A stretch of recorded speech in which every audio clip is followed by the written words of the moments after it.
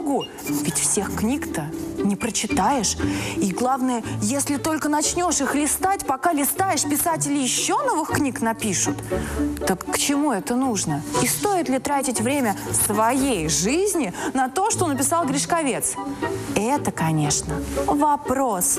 А ответы не очевидны. Очевидно, что многие реалии, за которыми пытался поспеть Гришковец, они уже уходят, а он в своей ретроградной милоте немножечко на этот поезд не успевает. Но с другой стороны, может оно и к лучшему, что он не скатывается в эту актуальную бездну, которая все больше и больше заглядывает в тебя с экранов смартфонов. Но, с другой стороны, я бы лучше сходила на стендап за Бродином. А может быть и нет. Ну, что и требовалось доказать.